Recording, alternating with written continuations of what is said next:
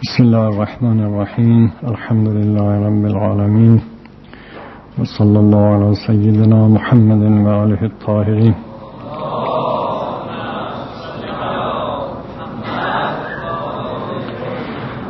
اللهم كن لوليك الحجة ابن الحسن صلواتك عليه وعلى آبائه في هذه الساعة وفي كل ساعة.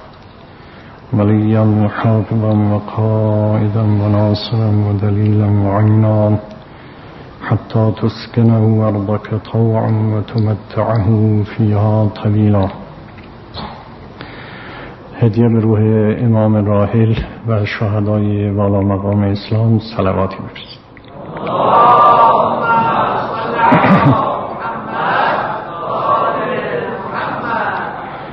والواجب على من وهب الله له الهدى وأكرمه بالإيمان وألهمه رشده وركب فيه عقلا يتعرف به نعمه وآتاه علما وحكما يدبر به أمر دينه ودنياه أن يوجب على نفسه أن يشكر الله ولا يكفره وأن يذكر الله ولا ينساه وأن يطيع الله ولا يعصيه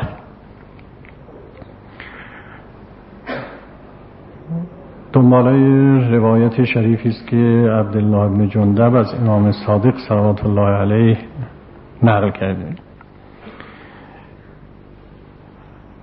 بعد از ذکر مواعظ فراوانی که بسیارش جنبه عمومی داره و برای همه اقلا مورد استفاده است و عمل به اونها متوقف نیست بر اینکه انسان دارای مراتب ایمان و تقوا باشه بسیاری از اخلاقیات هست که جنبه عمومی داره و حتی نتایجش مربوط به همین دنیاست. بعد از ذکر سلسله ای از مطالب اخلاقی که در این روایت ذکر شد به حسب توفیقی که خدای متعال داد توضیحاتی درباره اونا عرض کردیم. که انه شنونده در ذهنش میاد که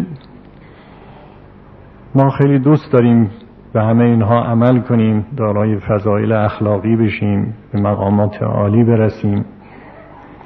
ولی همتش رو نداریم نمی‌دونیم چیکار کنیم که انگیزه پیدا کنیم. آدم خودش هم مراجعه کنه به حال خودش می‌بینه که گاهی چنین حالی براش پیش میاد. می‌دونه که یک فضایل اخلاقی بزرگی هست که انسان باید بهش نائل بشه. اون چه انبیا و اولیا فرمودند. ولی می‌بینه انگیزه ای برای اینکه دنبال اینها بره اون چون انگیزه قوی نداره. سست همتش پایینه. کارهای زندگی دنیا را مقدم میداره بر اینها. این سوال براش مطرح میشه که چیکار کنیم و انگیزه پیدا کنیم. چیکار کنیم که بریم دنبال این مسائل علاقه پیدا کنیم تصمیم جدی بگیریم برای این کارام خب تصمیم گرفتن البته یک کاری از خود آدم باید خودش تصمیم بگیره. ولی اینجور هم نیست که آدم همیشه بتونه هر تصمیمی می‌خواد بگیره. یک مبادی نفسانی داره یک زمینه باید فراهم بشه تا آدم تصمیم بگیره یک کاری انجام بده. این مبادی اراده زمینه هایی که برای انسان تصمیم ساز هست غالبا یه سلسله دانستنی ها و شناخت هاست که وقتی آدم به اونها توجه بکنه درباره اونها فکر بکنه اونها رو مد نظر قرار بده یواش یواش زمینه اراده و تصمیم درش پیدا میشه. خب خود ما تجربه زیاد کردیم. گاهی نشستیم فکر کردیم درباره یه موضوعی یا کسی برامون توضیح دادید کمک کمک در نفسمون زمینه اراده و تصمیم پیدا شدیم. حالا اگر کسی سوال بکنه که بسیار خوب ما این مطالب اخلاقی رو قبول داریم و می‌دونیم که آدم باید به مقامات عالی قرب خدا برسه اما چه کنیم که همتش رو پیدا کنیم؟ باید یه زمینه ای فراهم بشه. به تعبیری که بنده ارز می کنم این است که یک شناخت هایی به عنوان مبادی اراده باید در آدم تقویت بشه.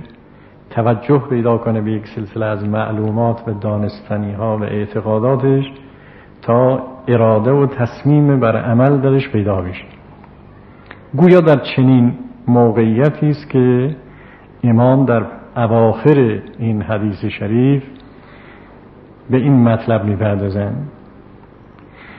میفرمایند طبعا مخاطب این حدیث کسانی که بلاواسطه و مشافهتا شنیدند یا کسانی امثال ما که با واسطه از این حدیث می‌خوایم استفاده کنیم. کسانی هستند که ایمان به خدا دارند دین دارند.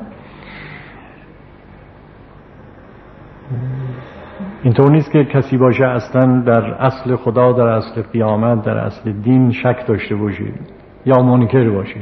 اون که دنبال اینستا نمیاد. نمیره حدیث امام صادق گوش بکنه. طبعا مخاطب این حدیث کسانی است که اصل ایمان را دارن. آدمی است اهل ایمان عقل داره فکر داره. به چنین کسی که اولا خدا او را هدایت کرده به ایمان صحیح دین صحیح مذهب صحیحی را شناخته این اندازه عقل داره که درباره نعمتهای خدا بیاندیشه که خدا چقدر بهش نعمت دادی یه آدمی غبی کودن بیفکری نیست. می‌تونه بفهمه که خدا چگونه نعمت چه نعمتهای عظیمی بهش دادی. به یک همچو کسی راهنماییش می‌کنن که درباره یه سلسله مسائل بیاندیش تا اون وقت اراده و تصمیم بر عمل پیدا بکنیم اونم تصمیم بر یه چیزهایی که ریشه همه خوبی ها و خیرات و تکاملاته میفرماد کسی که چنین ایمانی داره و عقل داره و این اندازه دانش داره که نعمتهای خدا را بشناسه تدبیر زندگیش می‌کنه یه همچه کسی خوب بیاندیشه که خدا چقدر نعمت به او داده. از اون وقتی که هنوز آفریده نشده بود در این عالم به صورت یک موجود زنده در این عالم متولد نشده بود.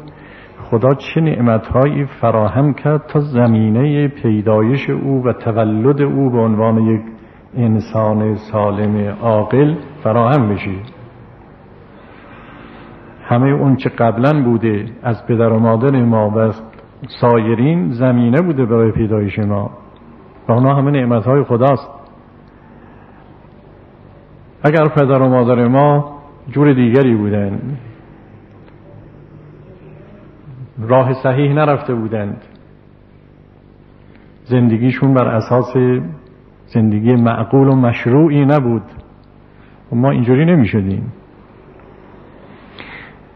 پس زمینه پیدایش ما به صورت یک انسان سالمی که بعد ایمان و عقل داشته باشه از قبل فراهم شده اونها هم یه نعمتی است که خدا به ما داده قبل از اینکه اصلا موجود بشیم حالا در امور مادیش رو حساب کنید.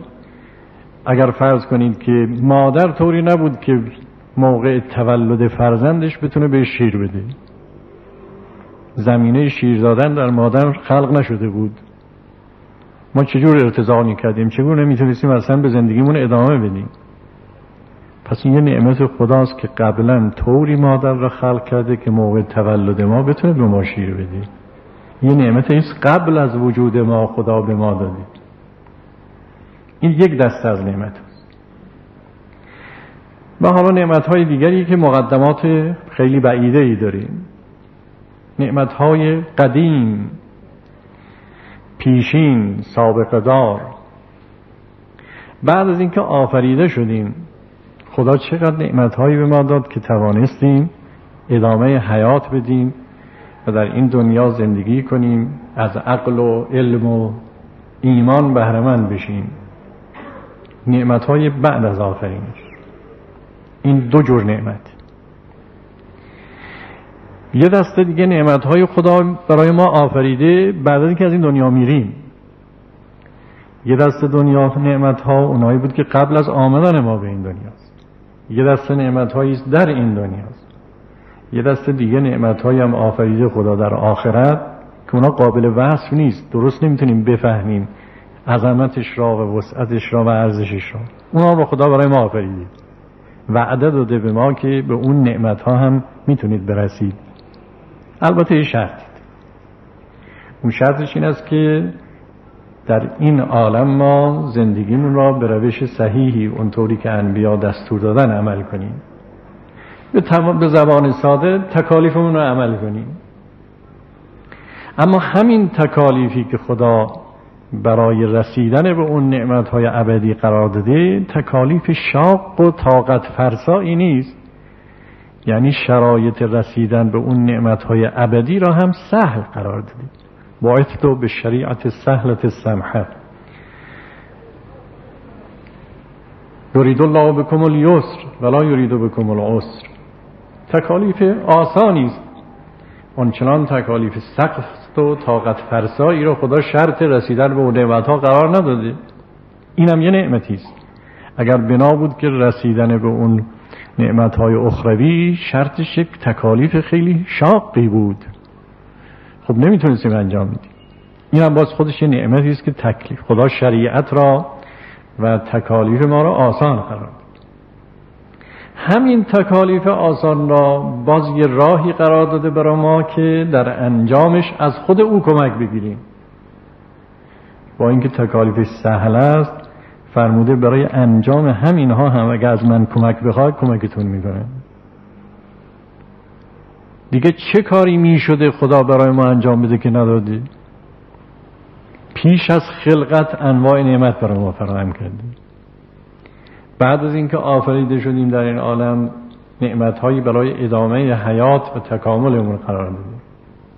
بعد از رفتنمون از این عالم هم نعمت های ابدی قرار دادیم. راه رسیدن به اون نعمت های ابدی هم را آسون قرار دادیم. همین تکالیف آسانم رو گفته برای انجامشون من خودم کمکتون می‌کنه اگر از من کمک بخواهید به شما کمک می‌کنه اگر در این بارا فکر بکنیم و انسان به حسب فطرتش در مقابل کسی که این چنین او را غرق نعمت قرار داده از پیش از آفرینشش تا الالعبد در مقابل او چه کار باید بکنیم؟ اگه آدم در مقابل یک کسی که یه خدمت کوچکی بهش انجام دادی تا زنده است آدمایی که فطرت پاک دارن خدا را فراموش اون شخص رو فراموش نمی‌کنن. همیشه خودشون رو شرمنده او می‌دونن. کسی که این همه نعمت قرار داده فطرت انسان او را وادار می‌کنه که در مقام شکر و حق شناسی بر بیاد. و به دنبالش همیشه یاد او باشی چون هر جا می نگاه می‌کنه همه نعمت اوست. وقتی توجه کرد که اینا نعمت های خداست همیشه به یاد او خواهد. و وقتی دانست حتی همین تکالیفی رو که معین کرده برای این است که او به کمال برسه و به اون سعادت ابدی برسه. ولی نفعی در انجام این تکالیف که او نداره. تعیین این تکالیف هم خودش یک نعمتی است. برای اینکه راه رو به ما نشون بده که چه کنید تا به اون نعمت های ابدی برسید. این است که بر خودش لازم می‌دونه که دائما به یاد او باشه و شکرگزار او باشه و دستورات خدا را اطاعت کنیم. اگر در این بار ما فکر بکنیم هر قدر بهتر فکر کنیم دقیقتر بیاندیشیم حضور قلب بیشتری داشته باشیم تمرکز بیشتری داشته باشیم انگیزه برای تکامل و عمل به دستورات اخلاقی اسلام بیشتر پیدا می‌کنیم. ولی آدمیزاد با وجود این همه نعمت هایی که خدا بهش داده گوش کری میده توجه نمی‌کنه به نعمت های خدا. دلش می‌خواد برسه به مقامات عالی ولی حال عمل کردنش نداره. تنبلی می‌کنه. برای رفع این تنبلی ها لازمه که بیشتر به این اعتقاداتی که خودش داره و می‌دونه و قبول داره بیشتر توجه کنه و دربارش بیاندیشه. حالا من این عبارت ها رو می‌خونم. والواجب على من وهب الله له الهدا کسی که خدا به او هدایت بخشیده. یه کسی هنوز هدایت نشده دین حق را نشناخته خب اول باید بره دین حق رو بشناسه. اون حالا فعلا مخاطب امام نیست. اون کسی که مخاطب این حدیث است کسی که خدا را هدایت کرده دین حق را شناخته. و الهمه رشده و رکب فیه عقلا یتعرف به نعمه. خدا او را به رشد رسانده و عقلی بهش داده که با او بتونه نعمتهای خدا را بشناسه. و آتاه علما و حکما یدبر به امر دینه و دنیا. این اندازه از علم و حکمت بهره داره که بتونه کارش رو تدبیر کنه بدونه که چیکار باید کرد تا به چه نتایجی برسه. مخاطب ما از این سه چیز بهرمنده هم ایمان داره هم عقل داره و هم, هم علمی داره که می‌تونه کاراش تدبیر کنه بدونه باید چه کار کرد تا به چه نتیجه برسه. چنین مخاطبی الواجب علی چنین کسی ان یشکر الله ولا یکفره. بیاندیشه درباره نعمتهای خدا تا اینکه همواره شکر گذار او باشه و کفران نعمت او نکند. این یکی این در واقع بحث اون چه بنده می‌فهمم امام داره در این بیان یک راه های اساسی رو به انسان نشون میده که گوی این که اینا خودشون یه مطالب اخلاقی هستند ولی مادر اخلاق و فضائل دیگری هستند اگه آدم اینها رو پیدا کنه دنبالش خیلی چیزها مترتب میشه. جنبه کلیدی دارند در فضائل و کمالات انسانی. اولش اینه که انسان باید روح شکرگزاری حق شناسی را در خودش تقویت کنه. اگر آدم این باشه حق ناشناس ناسپاس این هیچ وقت نمی‌تونه تکاملی پیدا بکنه. کسی که نعمتهای ساده انسانهای عادی را حق شناسی می‌کنه ما چجور حاضر نعمتهای بینهایت خدا را ندیده بگیره؟ پس اول باید این روح شکر رو در خودش تقویت کنه. حالا راهش رو باید نشون میده که چه, چه کنیم تا انگیزه شکر کردن در ما پیدا بشه. دوم از کارهای کلیدی یا از اخلاق کلیدی. این است که آدم همیشه یاد خدا باشی. ان یذکر الله ولا ینساه این دوم. اول شکر دوم ذکر و یاد خدا. فذکرونی اذکرکم وشکرولی ولا تکفرون. سوم ان یطیع الله ولا یعصیه. کسی که نعمتهای خدا را شناخت در مقام شکرگزاری است. به یاد ولی نعمتش هم هست و می‌دونه که از نعمتهای خدا این بوده که راهنماییش کرده به شریعتی که اگر عمل کند به سعادت ابدی خواهد رسید. این نتیجه رو می‌گیره که من باید دائما اطاعت او کنم تا باز به نعمتهای بیشتری برسم. خب حالا چه کار کنیم که این سک فضیلت خلق کلیدی را پیدا کنیم. شکر و ذکر و روح اطاعت و ترک اسیان. برای اینکه اینا را پیدا کنیم باید در این باره ها بیاندیشیم. للقدیم الذي تفرد له به حسن النظر. اول اینکه اون نعمت های پیشین و گذشته ای که خدا با حسن تدبیر خودش برای ما فراهم کرده. که اشاره کردم نعمت هایی که قبل از پیدایش ما خدا زمینش رو فراهم کرده تا ما از اونها استفاده کنیم. ولی الحدیث الذي انعم علیه بعد اذ انشأه مخلوقا. اون که نعمت های قدیمی بود. یکی نعمت های جدید اون وقتی است که بعد از آفرینش پیدا میشی. حالا که متولد شد به صورت یک انسانی خلق شد در این عالم تازه به تازه خدا نعمتهایی به او مرحمت می‌کنه. در مقابل اون نعمتهای قدیمی و قبل از خلقت. بعد اذ انشأه مخلوقا. سوم یه دست نعمت ها پیش از آمدن ما در این دنیا. یه دست نعمت ها در این دنیاست. یه دست دیگه نعمت ها خدا فراهم کرده در آخرت وعده داده که به اونا می‌رسید. ولی جزیل الذی وعده. نعمت های فراوان بیشماری که اونجا فراهم کرده و به ما وعده داده که می‌تونید به اون نعمت ها برسید. اما اینش یه شرط داره بل فضل الذي لم يكلفه من طاعته فوق طاقته. درسته که برای رسیدن به اون نعمت ها فرموده که شرطی داره باید اطاعت بکنید از دستورات من. اما این اطاعت هم فوق طاقت نیست. آسان شریعت سهل و آسانی است. الفضل الذی خدا بر انسان علاوه بر این نعمتهای قبل از خلقت و در حال خلقت و بعد از این عالم یک فضل دیگری هم داده که اون راه رسیدن به نعمتهای آخرت را هم طاقت فرزا قرار نداده. لم یکلفه من طاعته فوق طاقته. فرموده باید این راه را بری این شرایط دستورات رو عمل کنی. اما اینا فوق طاقت نیست. و ما یعجز عن القیام به.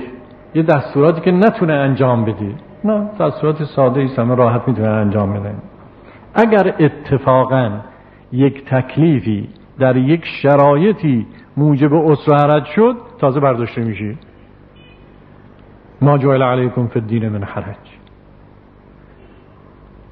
تکالیف که عموما اصر حرج نداره. اگه ممکنه برای اشخاصی در یه شرایط خاصی اصر حرجی پیش بیاد اون تکلیف ساقط میشه. پس تکالیف الهی هیچ وقت موجب اصر حرج نیست. نه طبعش درش اصر حرج هست و نه اگر استثناعا برای یک کسی در یک شرایطی موجب اصر حرج بشه اون تکلیف باقی نمیمونه دیگه برداشته میشه. این هم یک فضل الهی است. این هم یه دست دیگه از نعمت هاست. علاوه بر همه اینها تازه همین تکلیف های ساده ای که به ما فرموده انجام بدید تا به سعادت ابدی برسید برای همین هم گفته کمکتون می‌کنه. و ضمن له العون على تیسیر ما حمله من ما حمله من ذلك تازه همین تکالیفی را که برای او قرار داده وعده داده زمانت کرده که کارا رو برات آسون می‌کنم. اگر از من کمک بخواهی تو رو کمک می‌کنم در انجام همین تکالیفی. و ندبه الى الاستعانت علی قلیل ما کلفه. تازه همین تکالیف قلیلی هم که براش قرار داده خودش گفته بیا از من کمک بخواه تا کمکت کنه.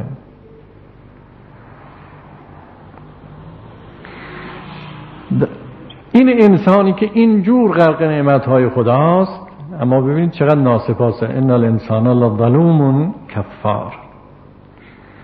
در حالی غرق این همه نعمتهای گوناگون هست و هو معرض اما امره و زجر اینجا تو این نسخه عاجزان ان هست. توی بهار هم اتفاقا من مراجعه کردم اونجا هم عاجزان ان بود ولی من مطمئنم که این غلطه. اما امره و زجر عنه باید باشی. یعنی از امر و نهی های الهی. غافل است از امر و نهی ها و از تکالیف خدا. اعراض کرد. قد لبس ثوب الاستهانت فیما بینه و بین ربه. اون چه مربوط به رابطه او با خداست اینا را سبک میشون هرچون مربوط به رابطه خودش با دیگران با انسانهای دیگه خیلی بهش اهمیت میده. مبادا یک کاری بکنم جلوی مردم آبروم بریزه. جلوی چشم دیگران خار بشن اون چون روابطش با انسانهای دیگه خیلی بهش اهمیت میده. مخصوصا جوان ها حتی در لباسشون در آرایش موشون صورتشون اینقدر مواظبن وقتی بیرون میان توی جامعه میان منظم باشند آراسته باشند و کسانی دیگه هم به صورتهای مختلف هر کسی برای رابطه خودش با انسانهای دیگه خیلی ارزش قائله. اما برای رابطهش با خدا نه سبک میشماره. قد لبس ثوب الاستهانه لباس سبک شمردن در رابطه با خدا رو تنش کرده. یعنی بنا گذاشته که با خدا رابطه خودش را اهمیت رده. متقلدا لهواه ماضیا فی شهواته مؤثرا لدنیا و علی آخرته. و همچنان تابع هوا و حوث خودش هست و دنبال شهواتش و غافل است از اون نعمتهای عظیمی که خدا برای او مقدر فرموده و اون تکالیفی که بر عهدش گذاشته. دلش می‌خواد که به اون کمالات برسه اما حاضر نیست عملش رو انجام بده شرایطش رو رعایت بکنه. در صورتی که به اون مقامات و اون فضائل ابدی و نعمتهای اخروی جز با عمل نمی‌رسی. نعمتهایی که قبل از خلقت بوده یا در این دنیا بسیاری ازش اکثرش را خدا به ما میده شرطش تلاش ما نیست. خدا بدون اینکه ما زحمتی بکشیم اون نعمت ها در اختیارمون قرار داده. ما که خودمون نقشی نداشتیم در اینکه پدر و مادرمون کی باشن چجور زندگی کنن چجور آفریده بشن. یا ضمن نعمت های دیگری که در آسمان و زمین قبل از خلقت ما آفریده شده و بعد ازش استفاده می‌کنیم. اینا که شرطش عمل ما نبود. اما نعمت های ابدی اخروی شرطش عمل ماست. همونطور که ما از نعمت های قبل از آفرینش و بعد از آفرینش مفت استفاده کردیم می‌خوایم نعمت اخروی هم مفت گیرمون بیاد. اینجا اشتباه می‌کنیم. نعمت های اخروی دیگه مفت نمیدن. شرط داریم. اگر بخواهیم به اون نعمت های ابدی برسیم و دستورات خدا را رعایت کنیم. پروردگار را به ما توفیق بده که نعمت های تو را بهتر بشناسیم قدر این نعمت ها را بهتر بدونیم تکالیف و بهتر عمل کنیم تا شایسته دریافت نعمت های ابدی تو بشیم. و السلام علیکم و رحمت الله.